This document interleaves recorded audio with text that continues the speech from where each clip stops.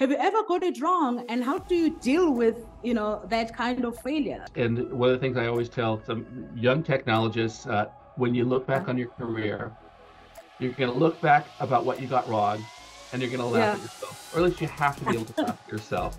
With over 40 patents though you know like uh, uh, behind your name which invention or discovery are you most proud of and why? The ones that I, am actually most excited about right now were some of the very first patents I got uh, at mm-hmm. HP, um, and yeah. they were all around understanding how we uh, equate energy inputs to business outputs.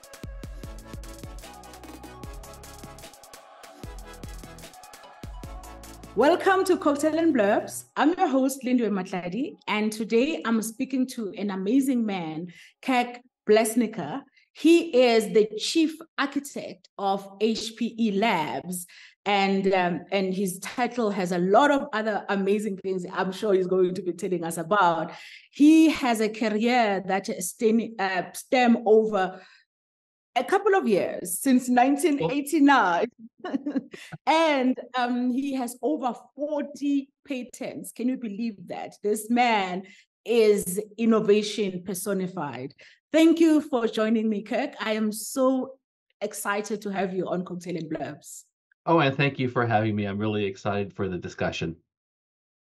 Yeah um my first question for you actually is um tell me about your role and and i want to know you know um you've been at hp for so many years like you know tell me how did it start where is the beginning and how did it happen uh, so yeah, uh, it'll be uh, in September. It'll be 35 years uh, at Hewlett Packard, and then Hewlett Packard Enterprise as the the company has evolved uh, over the three and a half decades I've been here.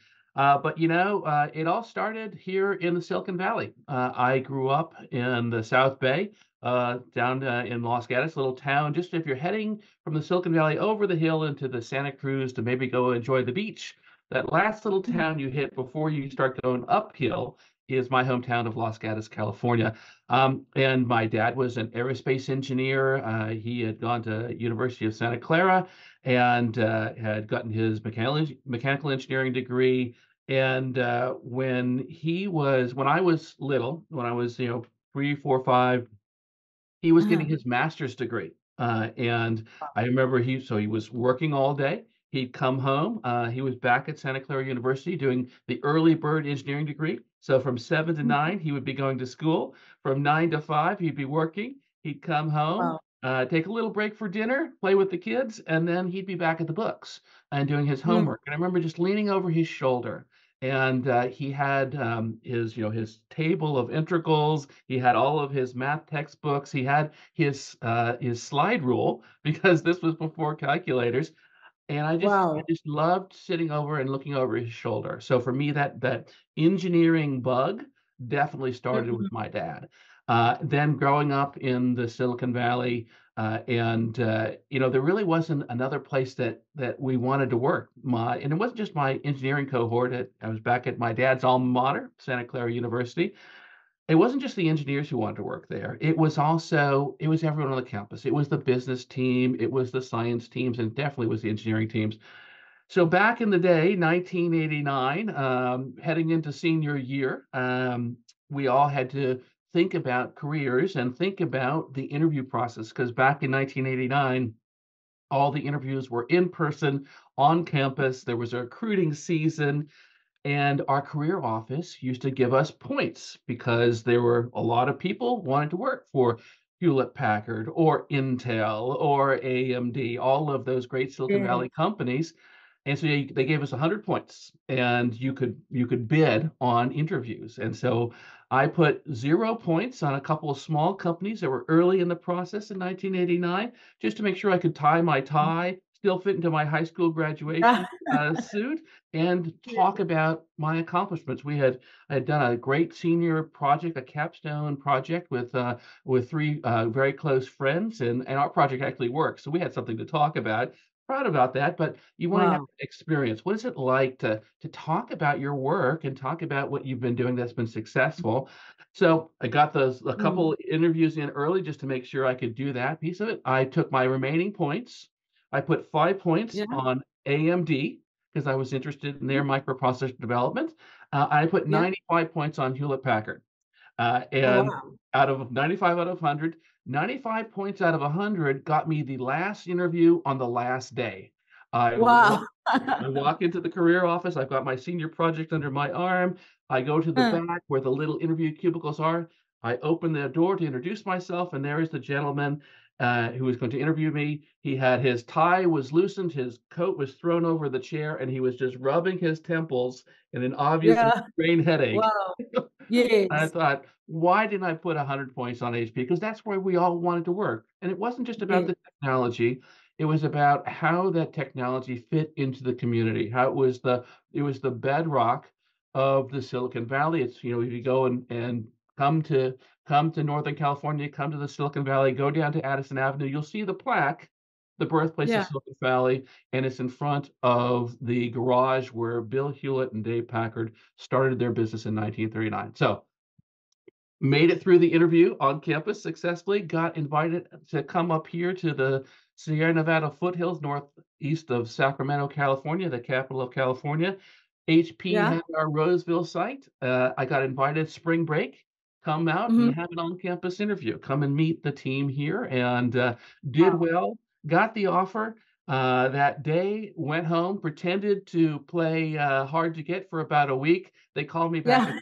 absolutely that's where i want to work and so that's where i started my career we called it member of technical staff uh, which basically meant you were a brand new engineer minted out of Yes. your university and now they were going to teach you what it was like to be an engineer at hewlett packard uh, so that's how i started my career process uh, I always kept doing you know a little bit more every day. Uh, so I went from just member of technical staff to a lead design engineer to a system architect to uh, a hardware division architect. And my last Mhm. job back in 2014, um, when I was in the business group, uh, was I was if I was the chief architect of Hewlett Packard um, Servers Global Business Unit, which basically meant Mhm. if it was a computer and it had an HP Yeah. logo on it. Everything above Uh-huh. the laptops was my technical remit, uh, which Oh, meant it was it was an incredibly broad set of products. It was the smallest little business server we had uh, to run your small uh, your small um, and medium sized business, all the way up to the world's most performant supercomputing, fault tolerant computing that was running uh, the majority of the world's stock exchanges and and uh, and um, 3G, 5G communications at the time. Uh, so it was a pretty broad gamut. Uh, and I had, you know, grown up in the business units, but back in 2014, uh, seeing those things, seeing so many things that were changing, I got a Mhm. call from Hewlett Packard Labs, and this will get to your question about what do I do today. I got a call from Yeah. Hewlett Packard Labs and our then director of Hewlett Packard Labs and our and our Mhm. global chief technology officer, Martin Fink, and he said, you know, those conversations we've been having about what's coming next. You know, we have the Mhm. team at Labs that's doing that basic research. These are teams that are looking at five, maybe even 10 years into the future, doing Mm. research in collaboration with our industry partners, with government partners, and with the global academic community but they're out Yes. there doing that research you know and then you think of my old job being the chief technologist of a global business unit uh, of the you know at the time the one of the largest uh, IT manufacturers in the world and we were looking at one two or maybe three years at the at the most so if a business Mm. is looking at one or two years and a researchers are looking at five or ten years there's a gap in the middle and Yes. my job then i was offered the job and i and i jumped at the chance my job was to sit in that uncomfortable middle space. What is Mm. between research and product development? Product development teams, they are continuously evolving, continuously improving their Mhm. products. Researchers are always asking, what's next? What's that next question? They answer one question and it leads to the next question. And that's what that's what Yeah. fascinates them. But what we really need to do is to bring those two communities together to say, Yeah. okay, research team, I know you've had, you're looking, always looking for the next question, but how about we get a little more detail on how we apply the answers that, and the insight you have to practical real real world problems and to mm-hmm. our development teams in the in our product development teams. Hey, I know you're always thinking about what's coming out next quarter, maybe next year, but how about Yeah. we skip ahead a couple of years? What do you want to have as part of your global uh, supply chain of innovations and technologies so that you can then be prefetching what the future is like. And so that's my job on a daily basis is to sit in that uncomfortable middle space between research and product development and then bring everyone together. And it's important to note that, you know, when I started back in in 1989, I could come to come over the across the bay, come up to Yeah. Palo Alto and to the Hewlett Packard Labs team, and I teach the Yeah. team doing basic uh, computer architecture research, basic semiconductor research, how manufacturing processes, and above that, operating system libraries, middleware, and the end, HP printers, HP displays, and HP Mm. disk drives, very vertically integrated, which meant that innovation could flow right from the labs team to our our manufacturing teams, to our engineering design teams, and our services and support teams globally. Here in the 21st century, and we're all very grateful for this, innovation is now a global business, and it is a very complicated supply chain. You know, so Yeah. some a, a researcher at labs has a great idea. Okay, you have a great idea on a, a little piece of semiconductor. Well, first get TSMC or Global Foundries to to make it in their fab. Then get one of our semiconductor prop, uh, partners to in- incorporate it into their design. Then get an open source kernel team from the Linux uh, uh, the Linux open source community to write a driver for you. Then get a software Wow. to begin to capitalize it, and and then it's ready Yeah. to go out. So so right now it's it's it's so much more complicated, but it's also so much more energizing and open and to have all those diverse communities again globally now participating in that innovation ecosystem. But it, it makes it a little more challenging for me uh, because that's Yeah. that more people that we have to convene. And of course, technology isn't just about technology. It's also about Mhm. policy. It's about governance. It's about understanding how we deliver technology, not just for technology's sake, but to solve real problems that people have. And that means that you need to understand the problems that people have. And the problems that I Mhm. have here uh, in Northern California are probably different than the ones that you're facing. So, how do we bring technology that solves global problems, but really looking at those local issues? How do we really bring technology that fits and is fit for purpose when that purpose is so diverse as the entire world? Yeah. Wow. Whew. I mean, I'm like listening to you, at some point, I'm thinking, oh my God, oh my God, I'm gonna have a headache. You know, it explains why you've got 40 patents and you know, graduated cum laude, you're very smart. I'm just thinking, like, oh my God, my mind will just blow, you know, mind blowing to work with all these amazing, brilliant people and having to bring. And I think, you know, with innovation, you have people that are doing different things, and we, we tend to be like people who work with ideas, we become very married to it.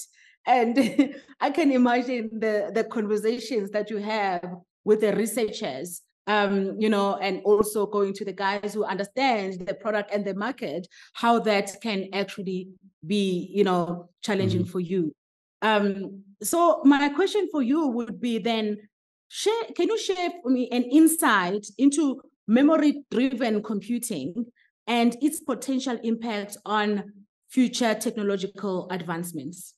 Sure. And so this is uh, this is an idea. that It's one of these things that it starts it starts in the hallway, or maybe you know, for me, this is probably about 2006, 2008. We had been working on a new c- new category of computing infrastructure called blade servers, and and it was bringing in some great ideas. It was it was everything that we were designing for that initial wave of internet and mobile computing build out. And we had, yeah. I I was, I was sitting back in 1999. I was sitting in the Mhm. back of a conference room at America Online, and Mhm. we had just met this whole new category of customers called an internet service provider. Uh, and Yeah. everything we were doing in computing was always about how do I deliver great outcomes to a, a CIO and an enterprise. Uh, you know, it's all about database, it's all about information processing for business. Here's this new category of customer, this internet service provider, who's suddenly providing yeah. information to every single one of us. And back then, of course, it was dial-up, but pretty soon it was on mobile devices and on laptops yeah. and, and everything. And so we we took all of they had just different I different needs, different constraints. They had to have things that that came on, plugged in, turned on as quick as we could build the computing. They need to have mm-hmm. it in production, delivering those great very first wave of internet experiences. So we turned those yeah. ideas and those constraints into a new class of system. And it's one of the things we we did it and and back in 2006 we came out with uh, with a product that really just knocked the socks off of that particular challenge. Uh, but it's mm-hmm. one of these things where you accomplish something, and, and that point, you know, from 2000 from 1999 to 2006, I'm already seven years into these ideas. Uh, and so sometimes you have to just remind yourself, sometimes it takes time. It takes time for the ideas to mature and the market to mature. We did that, and it, and it was a fantastic product launch. Um, it's one of the things where you sit back and say, wow, it doesn't get better than this, does it? And then you remind yourself yeah. year, it has to get better than this. So what is that next challenge? And so for us, it was looking at all the technologies that we had just pulled together to satisfy mm-hmm. this new emerging need. And then you want to you wonder what's coming next. And for us, it was it was a variety of forces that were coming together. We saw that mm. that tailwind we'd all been used to, which was Moore's law. We all draw our nice exponential increase of graph every other yeah. year things are twice as good as they were before. Uh, uh, and all that was based in semiconductors. But you know, that curve was starting to flatten out. So we thought about that. We thought about all of the economic and technology intersections, about everything that made us so successful. And it's one of the important questions that you have to ask yourself as a technologist. Uh, I have a window. I'm I'm I'm solving a problem using the technologies I have at hand what windows are opening up, what new things are coming, because my ingenuity opens up a window of opportunity for a business. Someone hmm. else's ingenuity can just as quickly close that. So part of what we were doing then was thinking, what would close the window? What would would end the chapter of the kind of computing that we were doing? And that led us to uh, imagine what was coming next. What was coming next was a change in some of those basic approaches you know, used to be yeah. memories scarce. We always ask for more memory in our laptops. Well, what if novel mm. memory technologies came and they changed that equation? So it's what was used to be scarce was abundant. We're all used to everything was about programming. Well, what if it wasn't about programming anymore? What if it was about data and what if it was about training instead of programming? So with us already thinking about what we imagine today is all about artificial intelligence. Artificial intelligence is all about the data and extracting insight from it and then turning that insight into action. So it was a mm. program, a research program we started, you know, and that was me jumping over to the labs team in 2014 yeah. To say, what is coming next? And that was for us understand, we called it memory driven computing because we wanted yeah. to incorporate and understand that we're having a shift. It used to be about just uh, how many microprocessor cores I could fit of an industry standard architecture into one chip. And then I would create a couple of those, I'd pull those, that, that whole internet scale build out. You think about that data center, row after row of identical boxes. And we began to begin re-architect from the basic computer science up and imagining what would it be like here, you know, in the mid 2020s. Uh, and that's really what mm. we started doing, you know, and now it's a decade. I've been at Hewlett Packard Labs for a decade. Now, mm. a lot of those ideas are starting to come to fruition. And of course, we're already mm-hmm. looking over into thinking what's coming next. Uh, and so for us, it's, is to continuously evaluate that technology, yes. those technologies that we have right now. What are those emerging technologies that have an opportunity uh, to to close the conventional wisdom and close it down and open up that next yeah. set of opportunities. And that's the process of continuous reinvention, re, re uh, invigoration. Uh, that is part of what we find is so valuable for us at Hewlett Packard Labs to deliver to our business, to our customers, our team members, yeah. and partners, is always being willing to to to defy convention, to be a little bit mm-hmm. contrarian, I know we've been fantastically successful at these technologies. I know that that uh, we there's everyone will just say, "Oh, of course we're going to do it this way," but what yes. if we didn't? And I think that's part of my, again, part of my job on a daily basis is to find and connect researchers who are always asking new and different questions, connect them to the real world problems people have today, and then see is there a business opportunity? Wow. I mean, that's fascinating uh, because it means that you need to have the foresight, right, of what's going to to um to happen in the future. Um, and as you're talking, I'm just curious. I mean, have you ever got it wrong? Like, you know, and, and was I ever thought, you know what, this is the next thing that's gonna happen, and then it doesn't, and you've already invested like the time from your researchers to your team have you ever got it wrong and how do you deal with you know that kind of failure like if you yeah. you get there like do you deal with it and and it's and one of the things i always tell some young technologists uh, when you look back on your career you're going to look back about what you got wrong and you're going to laugh yeah. at yourself or at least you have to be able to laugh at yourself yes. the hard part is when you look back and you got it right you know, you'll laugh when you got it mm. wrong. You might cry when you got it right because you might have had the technology call was right. But yes. just that aha moment, that realization of the possible that the light bulb goes off, that's only the first step. You know, you definitely that is necessary step. You have to have that ingenuity, but ingenuity mm. alone is not enough to make a difference in the world. You need to have that ingenuity, and then you need to find opportunity. What is that yeah. problem that needs to be solved? And the hard part is it might not even be something that people can articulate. They just know mm-hmm. that they they they aren't happy with what they have. They want to do more. They just don't know how. So yeah. that first step for a technologist is to find that opportunity, and that means you have to have a community. Uh, it's yeah. it's unlikely uh, that you're going to figure this out on your own. So the first thing for me like when we were doing the the first the blade systems and then the memory driven computing, you pop your head over the cube wall and you ask the person who's over there, uh, "Am I crazy or is this a thing? Yeah. Is this an idea that actually has merit?" And hopefully, you're not just popping over the cube wall to talk to the next engineer who's mm-hmm. in the cubicle next to you. Maybe you go over an aisle you talk to someone yeah. who's in the marketing team. You talk to some you talk to your field technologists who actually have to make the things that you've created work in the real world. You talk to mm. partners, you talk to customers, you gain that community, and then you that's mm. how you identify opportunity.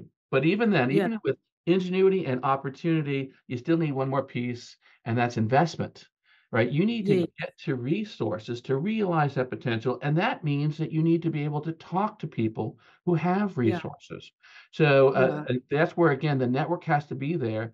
You have to have access and, and acumen. And, and by that, I mean, you have to be able to, to have a conversation.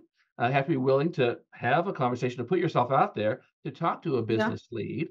Uh, and then you also need to bridge the gap if the only thing you talk is geek speak and uh, and that's all they can hear, then they're just going to hear blah blah blah blah blah. Yeah. Technologist, right? You yeah. have to be able to, and so that means you you might need a coach, you might need a mentor, you might need a partner in this mm. conversation to articulate how your ingenuity and that business opportunity can meet, and then you have to be able to to to, to say what it's going to take.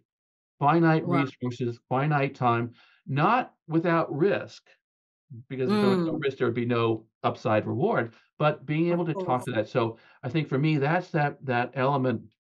And you know, I've had failures where I have made the technology guess wrong.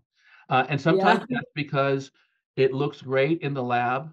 And then when we try to mm-hmm. ramp it up, uh, there's something. There's something that keeps it from production, that keeps it from from actually working in the real world. Sometimes mm. a failure not of technology, but of time. You know, that yeah. here's a great technology and you have it, but there's something about the business process.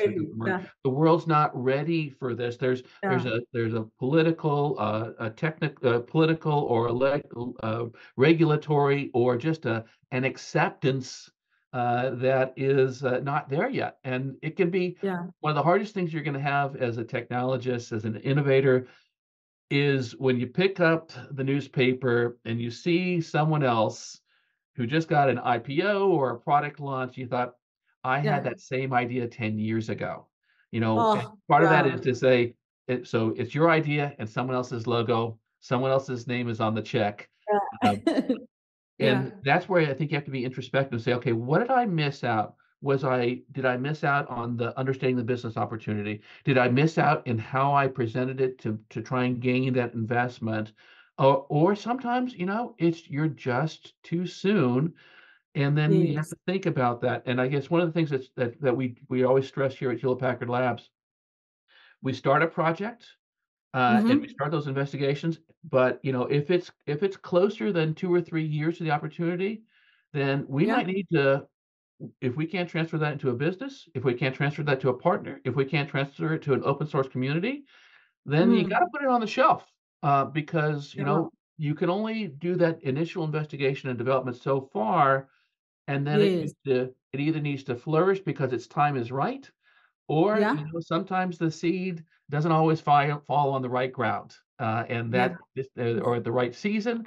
We just have to accept that, take a little break, uh, Yeah. have a little a little cry, and then Yeah. move on to the next opportunity, uh, because you can continue to drive And also, oh, have a little cocktail in between. There you go, pour some coffee. But that can be tough. It can be tough to let it go. It can be tough to realize that uh, that's that someone else's idea is now better. Uh, and you, you know, you were the best until someone else had their aha moment. Someone else found the opportunity. Someone else is satisfying the opportunity better, or maybe they had the better investment. And so sometimes you just have to have to let it go and think, okay, always we begin again. What is that yeah. next opportunity for me? just listening to you i mean there's been obviously you've you've you've done a lot and been with the company for so long you understand it and you you know you've dealt with a lot and i can imagine um with over 40 patents though you know like uh, uh, behind your name which invention or discovery are you most proud of and why You know, it, it's interesting. So, uh, and I even have one. ah, here's one right here. You know, every time you get a patent, you get a little plaque, right? and oh so, nice as you said, I got I got a lot of these that are that are sitting around the house uh, uh, and in my office at Hewlett Packard Labs. Um, and it's interesting because you you get that you get that patent because you had that moment, you were able to document it, you were able to convince someone at the patent office, the patent examiner, that okay, this really did advance the state of the art. But Mm, you know, back to that question of ingenuity, and so I have, yeah, I have the plaques that I've had those aha moments, um, yes but for to really make a difference, you know, you have to have that all those things come together. You have to have the ingenuity, the opportunity, you find that investment. I think looking back on my patent portfolio, um, you know, there are some that are that are are very dear to me, like the ones that we're about sitting in the back yeah of that conference room at AOL, listening to all of the complaints and challenges, all the things they didn't like about our products. They wanted one piece and they mm, hated the rest of it. And some of the patents yeah are all about solving that set of constraints. So I'm proud about those ones because they actually did start off what ended up being, you know, a multi-billion dollar segment of the computing industry. Um, so that's yeah that's rewarding. Um, but you know, the ones that I, I'm actually most excited about right now were some of the very first patents I got uh, at mhm, HP, um, yeah and they were all around understanding how we uh, equate energy inputs to business outputs. Uh, and uh, this is, you know, this is these were I think I filed them and filed them back there in in the late 1990s. Uh, you yeah know, some of my very first patent applications, early 2000s.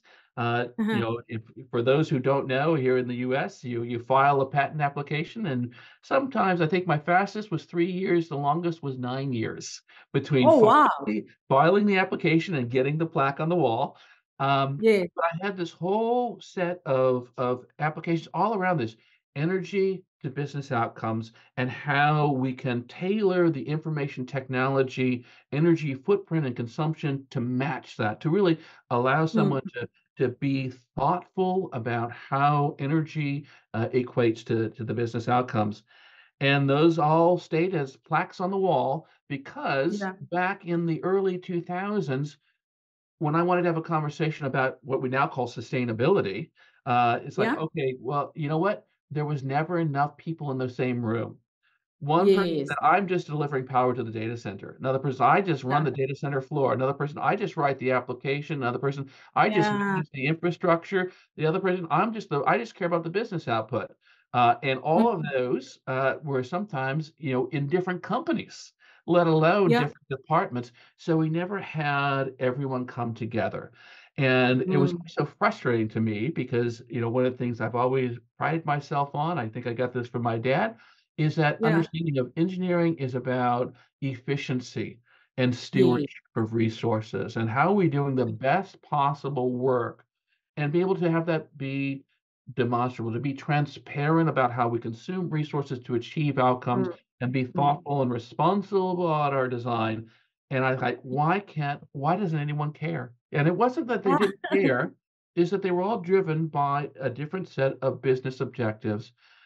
And Yes. So that was, you know, over the last, you know, really Or maybe climate change was not a big issue then. We didn't think, you know, we And, were so doing yeah, and so it was it was not Yeah. a part of the conversation. I couldn't ever get anyone, enough people, critical mass, interested to see, okay, this is actually a business opportunity. This is where I should invest. And you go back to the second piece of that equation. But in the last 18 months, I've had more substantive conversations about sustainability than I had in the last 18 years. And so now finally it seems when that we can we can have that big meeting. We can have that big Yeah. conversation. And even if it is a half a dozen different companies, Mm. we all have a single goal now. And that's how does the enterprise enterprise achieve its sustainability goals? How do we Yeah. have that complicated conversation? And so now we're we're we're pulling out some of that work, and it's not just myself. Yeah. It's it's it's it's uh, hundreds of technologists I know here at at Hewlett Packard Enterprise, both in the labs teams as well as our product teams, and we're all saying, finally, they're putting us in. we're ready. We're ready to take on this challenge, and we have that depth of knowledge. But of course, now what's also so exciting is not just what we thought about 20 years ago. It's now Yeah. The full weight and capability of AI-driven solutions into the Yes. equation. Because part of what we found is that we need to have superhuman levels of optimization Yeah. and efficiency. That's what AI could bring to us. Uh, and Yeah. so so it's it's part of it is just finally seeing that the season has come for Yeah. sustainable and responsible design technologies. And now we're able to have something that's going to extend beyond human capabilities uh, Mm. to uh, to have artificial intelligence augmentation of these systems so we can actually run them at superhuman levels of efficiency to provide that transparency. So hopefully, you know, this is where everyone's going to buy in uh, to Yes. sustainable solutions and really enable us to live within our means and to be thinking about our children and our children's children and how we're Yeah. going to enable them to have a better world. Wow. No, I mean, I'm I'm glad that you actually mentioned AI because that's that's what would have been my next question about how do you see the role of A of ethics in AI um in AI development and what steps is HPE taking to ensure ethical considerations Yep. um are at the forefront. And and when we're talking about you know sustainability being such an important you know um, aspect of your work and a, lot of the innovation that you've done. I read an article, um, uh, I think it was two weeks ago or or or less, um, from um, the Wall Street Journal, and they were saying that ESG now has become one of the swear words, you know, in business that people are not. So I was like, okay, you know, because this is something that just came up now. Like, what does it? I mean, are you seeing that in in everything that you're doing in terms of other organizations that you you you're working with? Um, yeah, those are basically the Yeah. there are two questions, I suppose. Yeah. So there's there's a lot of back in there. So, but let's, let's talk about Yeah. let's talk about um I talk about the uh, the responsible AI ethics uh, work that we've been done, and it's interesting for me because you know again part of we were having we're having we'll call it um academic conversations in the hallways, really going back ten years about about responsible ethical design, um, but it was they were just those. They were conversations. They were it they were labs conversations about these. And we're dreaming about artificial consciousness and what is the role of what do we owe if we were to be able to create an artificial consciousness? Uh, what would we owe it in terms of responsible ethical treatment? We think of responsible ethical treatment of, of animals. And we said, well, is Yeah. that the model we have? We think of the responsible ethical treatment we have for each other. Is that the model? Very interesting philosophical conversations. Yeah. What happened that made it different for us was we had our we have our global human rights uh, uh, organization, part of our global ethics and compliance office. And back in 1990, I'm sorry, back in 2019, they can Yes. they commissioned an external audit of our entire human rights position. Uh, and you think about a global company like ours, you ask yourself all about the supply chain. Are we dealing with, are we only uh, sourcing conflict-free minerals and materials into our supply chain? Are we Yes. constantly vigilant to make sure that there's no forced or enslaved labor in our supply chain? And, Yeah. you know, we have taken great strides, and really this is work that's gone back over two decades about not only setting up the bar for our own industry, but really across industries.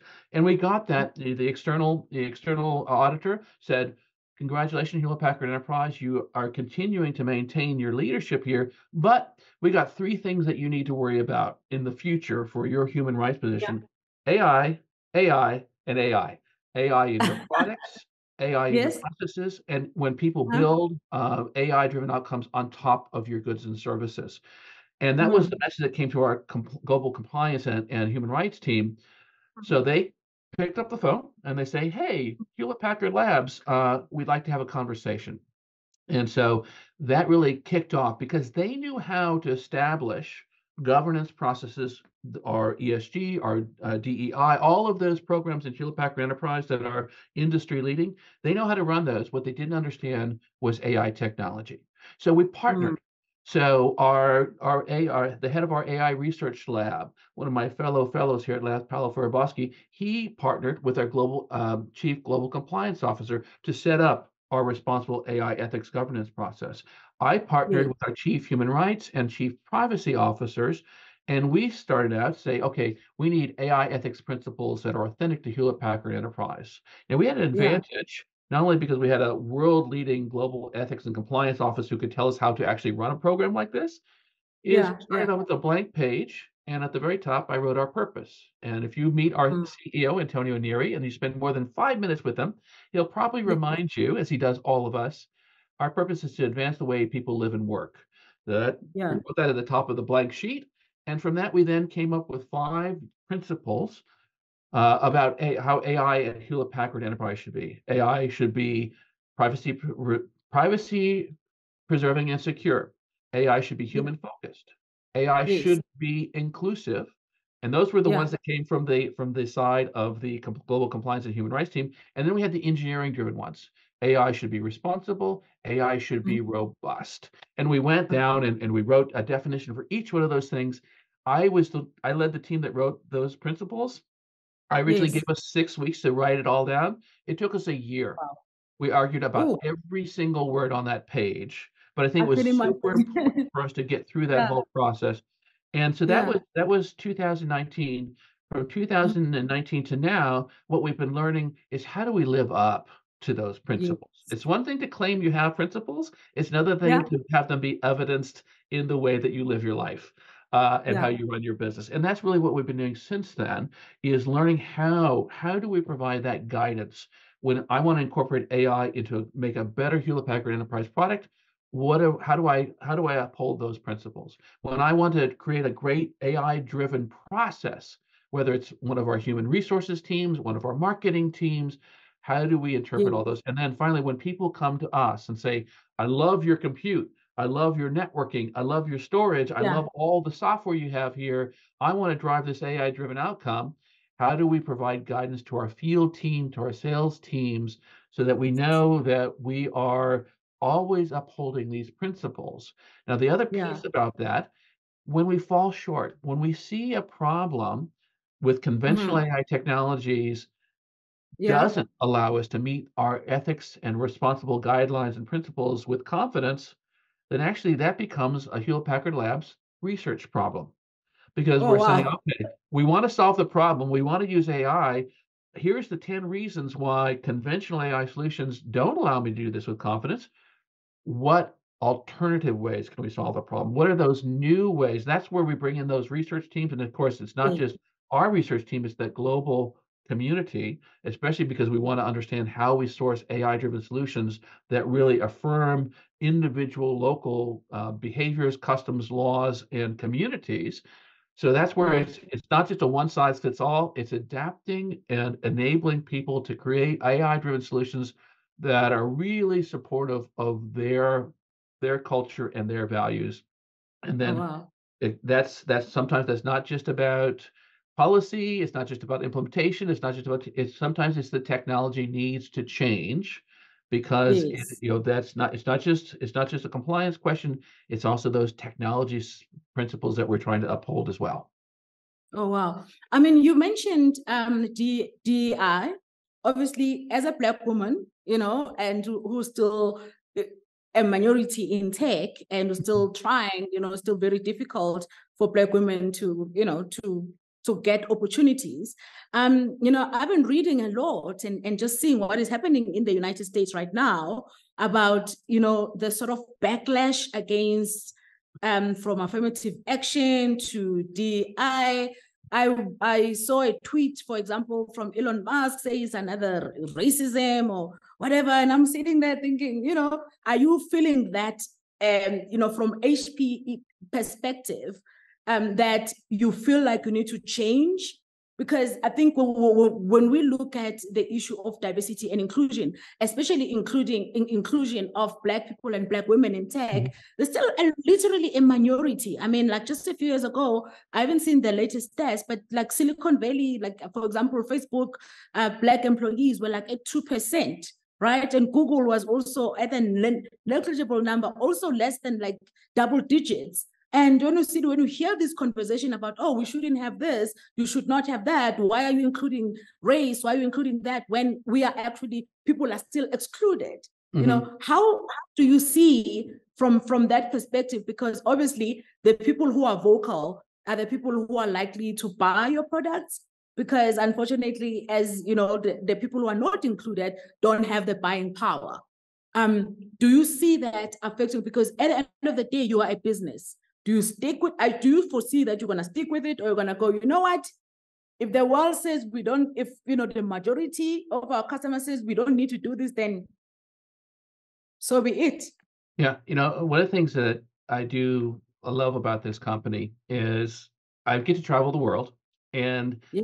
i have met people all over the world who are leaders in technology in their own communities in their own countries and you, I'm amazed at how many people say, you know, uh, the reason I'm in technology is back 20 or 30 or 40 or 50 years ago, you know, yeah. someone in my family got their first job in technology because they were helping service Hewlett Packard equipment in my country and mm. brought us in. You, you, they got training, they got that initial uh, understanding of the technology, and because we we needed to source and bring in that combination of local understanding and competency, and give them the access to the understanding of the technology, it started people mm-hmm. off on a process. And I, it's been amazing to me to how many people I've met around the world who you know they're they they started them they're they're on the course of technology because someone it was their it was their grandmother it was their uncle it mm. was their auntie they there was just someone in their past who were given the opportunity to not just consume technology but take that mm. first step to understand technology to help service and support technology and then the next step okay well now i understand how to support it can I help be on the supply side? Can I either deliver or adapt? Or maybe I'm going from technician and now I'm gonna I'm gonna be a, a partner with you and I help deliver your technology. And then, you know, can I take that next step and start deliver, you know, delivering on the supply side of technology? So I think I've been very proud of, of our company and uh, on in the history and legacy we have around the world about introducing technology into communities and getting people onto the supply side of technology, Yeah. not just the consumption side.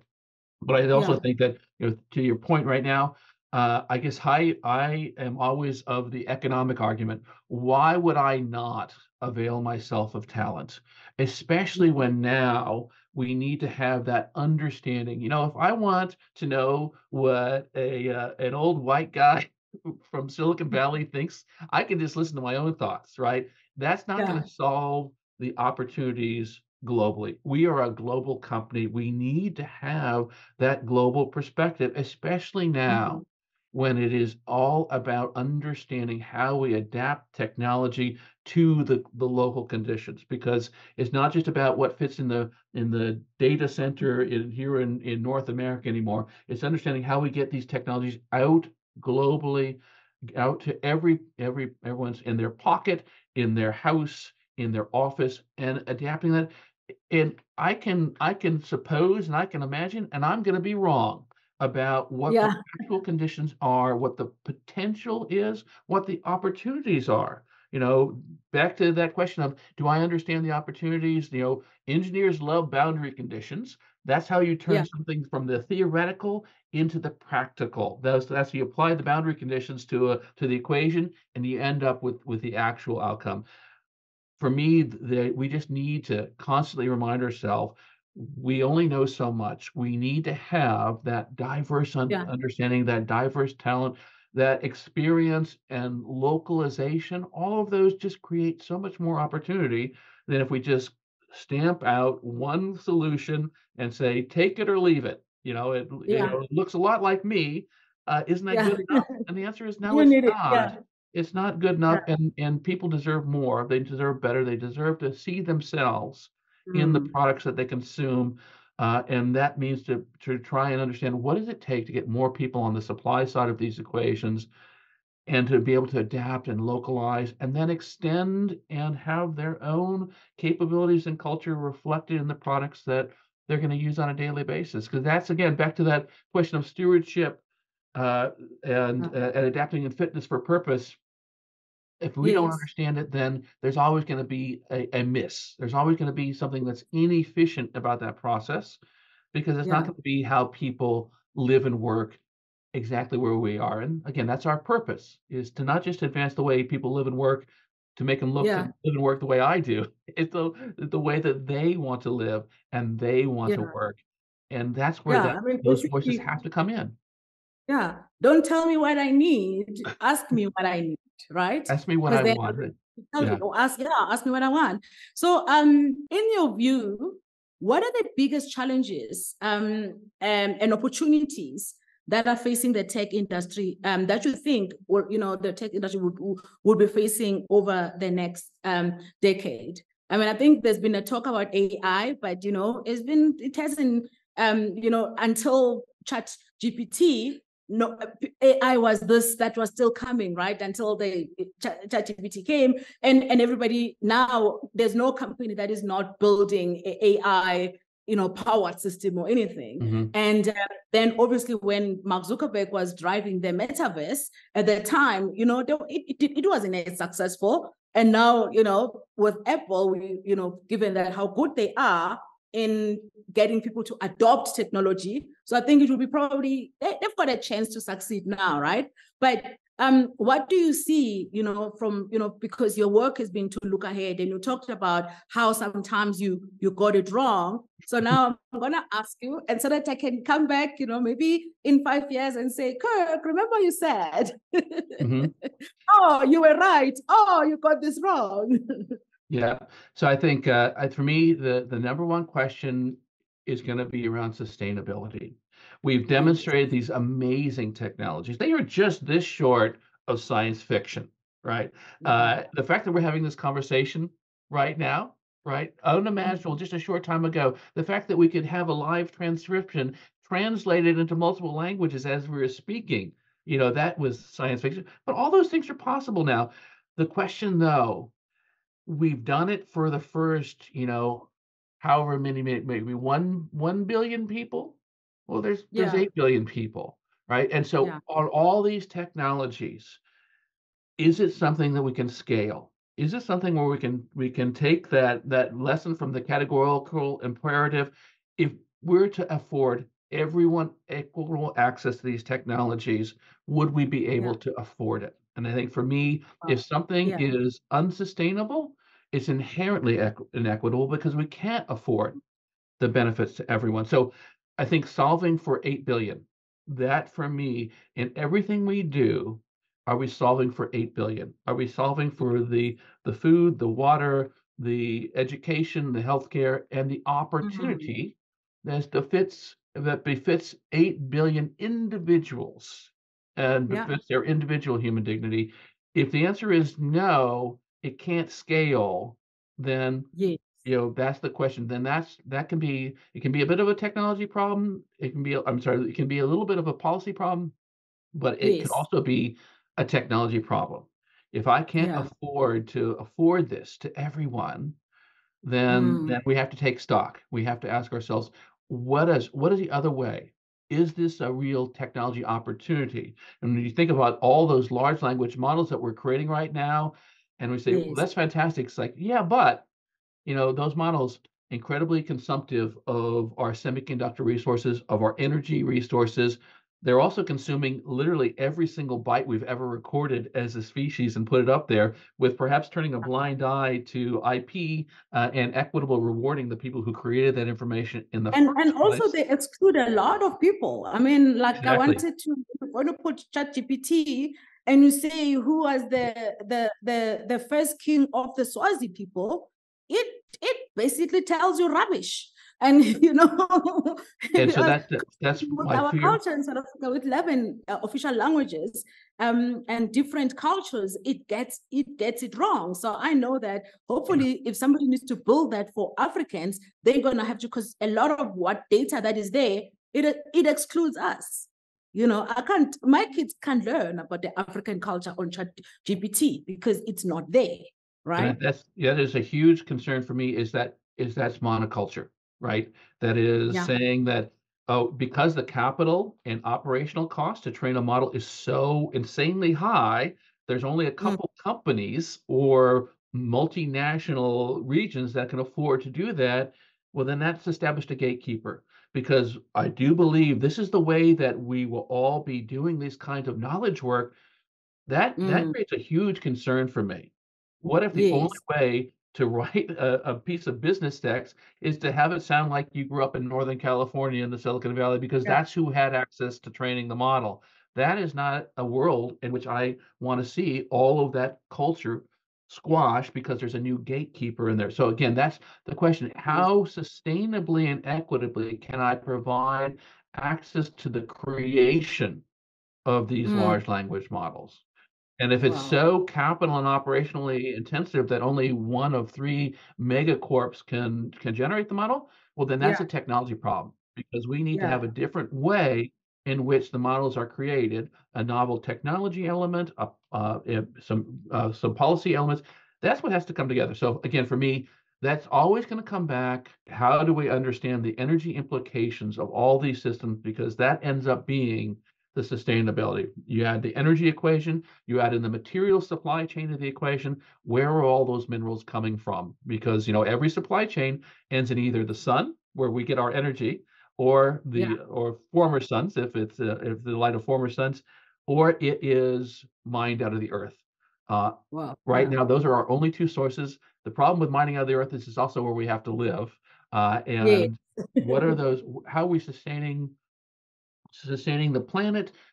All those. So, so me, sustainability and the ability to scale to eight billion Or send people. people to Mars, like uh, Elon Musk is trying to. Yeah, well, you know, I, I there is we could we could talk about the ethics of space. Again, my dad was an aerospace engineer, so it's, it's a topic that is near and dear to my heart. I think Yeah. that we have to be realistic, though. There's only one Yeah. place in the universe we know that can support human life for sure. Yeah. and that is Yeah. the one that we're on right now. And Yes. understanding how we nurture and support that so that we can continue to have again back to thinking about all those eight eight billion people, but thinking of, them as individuals and what Yes. is their individual human dignity. I guess for me, that's the real question of engineering scaling. Can I solve for eight billion equitably and sustainably? All of our technological inventions, all of these capabilities, it has to come back for solving for the human. Yeah. Wow. No, thank you so much. I mean, like it's really amazing to see somebody at your at your level sometimes thinking of those things because um, you know, uh, unfortunately it's not it's not as as universal as you hope it would be. My final question for you, um, this is cocktail and blurbs after all, even though it's early for you to have a cocktail. But I'm going to ask you if you were to create a cocktail, right? This is a question I ask all my guests that mm-hmm. represents your work, right? Um, or um, or the future, as you you was talking about, you, you're passionate so, so much about sustainability. What would be in what ingredients would be in it and why? Yeah, so uh, I do, I do, I do love myself a cocktail, and uh, these days uh, I'm I'm in two minds. Uh, you know, if I was to make a cocktail right now, I might just go back in my backyard where I have my grapefruit trees are are just just about right right now. Uh, so I wow. might grab one of those grapefruits. Uh, I also have uh, I last year uh, I made uh, a um, uh, Popomelcello, you know the the the grapefruit based um, liqueur. So grapefruit juice, grapefruit liqueur, some a nice gin uh, and uh, a little bit of Peychaud bitters, uh, you know, the flavor of New Orleans. Uh, I that for me, that is one of my favorite cocktails uh, right now. Unless wow. I want to go the whiskey route, because I also uh, enjoy I enjoy very peaty, very smoky whiskeys, and so those smoke flavored smoke flavored cocktails. I'm I'm a cognac those. person, so yeah. I don't like whiskey that much. but for me, it's it's always going to be it's going to be a mixture, and it's going to be some strong flavor components. Uh, so I, I I like the smoke. I like I like the bitter. I like the I like the sour. Uh, not so much sweet, maybe a hint of sweetness just to round things out. Uh, but that's what I really enjoy uh, in a cocktail. Are those uh, I like bold flavors. Uh, I, yeah, that's where that's that's my go-to now. No, I'm looking forward to sharing one with you. Hopefully, when I come to Silicon Valley, we can have one. Um, thank you so much for your time. Um, you know how I've been just trying to talk to you. One of the most inspirational people I met. Remember, you were talking to somebody else at the table. Mm-hmm. I was like, oh my God, I have to talk to this guy. Um, and I'm just so excited that you know we finally got the chance and got people to really get to see to hear you and and and like hear your heart and hopefully inspires many other leaders um, to really you know think about that it's not just about the technology is you know and think about the people everybody else right? It's not just those who have because you know we have to look at how do we create a just and equitable world and by that is by making sure that you know we bring people up. You know how do we send down the the ladder? And it's such a breath of fresh air when you have somebody who's leading innovation and thinking about those people. Because, you know, sometimes they don't have the buying power. So, you know, so thank you so much. And thank you for your time. And thank you for being you. Um, I'm so inspired by you. Oh, I've loved the conversation, and yes, next time we are, whether it's in uh, it's in Dubai or here in Silicon Valley, hopefully we'll be able to to, to enjoy that cocktail or maybe Davos or Geneva. Either yeah. way, wherever we're gonna meet, we're gonna have a cocktail. so, um, thank you so much, and I hope you have a great day. You too. Right.